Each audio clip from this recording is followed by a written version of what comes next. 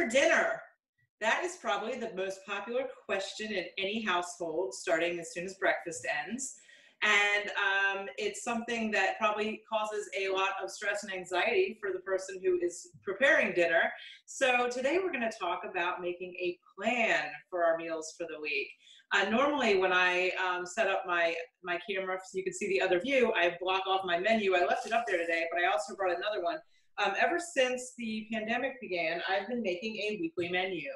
And what's great about it is it allows you to think ahead and be thinking about what you're making for the next meal so that not only when someone asks you what's for dinner is there an answer or you can direct them to the fridge to look, but um, it allows you to shop.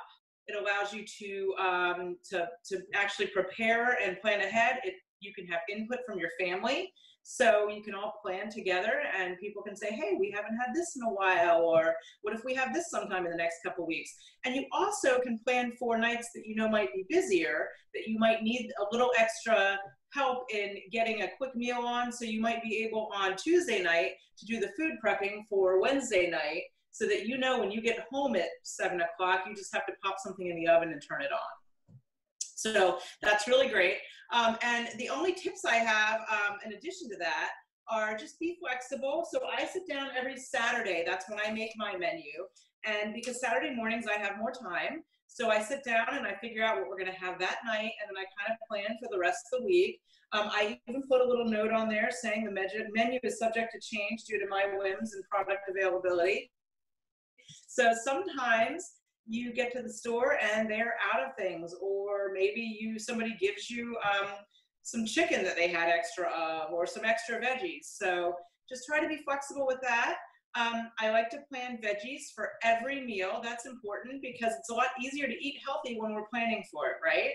So if you plan some sort of vegetable dish and try to, to work from MyPlate and get something from every food group at every meal, then um, it's a lot easier to, to eat healthy and uh, plan some extra for lunches. Uh, that way, when you're making um, a, some sort of meal, you know that the next day you can already have packed and ready to go lunches or something to heat up the next day for lunch.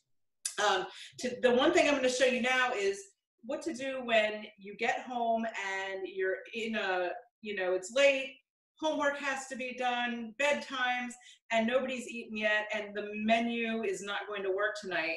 Um, what I do is I make something that I just call a sheet pan dinner. So um, basically, it's vegetables and uh, some sort of main course thrown on a pan.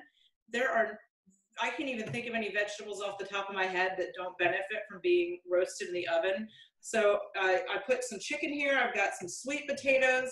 Um, you can leave the you can leave the skin on. I wash them well but you can just toss them in there, you know. Um, I threw in some broccoli. I'm going to throw in an onion.